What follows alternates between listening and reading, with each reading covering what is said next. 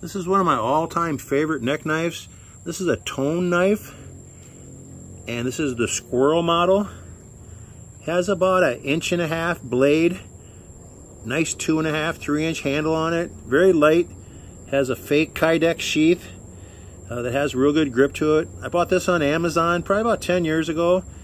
I carried it for a long, long time. Best, one of the best neck knives I've ever had.